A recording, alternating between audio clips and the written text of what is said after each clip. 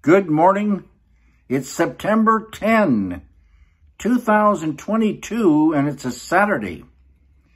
Here in LA, a cloudy morning, a pretty strong breeze blowing right now, 72 degrees Fahrenheit, around 22 Celsius.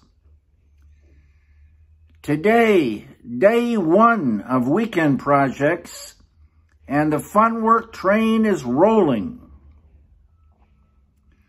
I'm going to be heading for a dining car pretty soon for hot coffee, a cookie, and maybe later on some popcorn.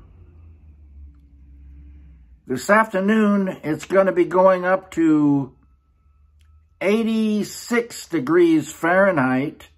That's 30 Celsius. Yesterday, it sure did rain. And today is clouds, clouds, and more clouds all along the way. Everyone, have a great day.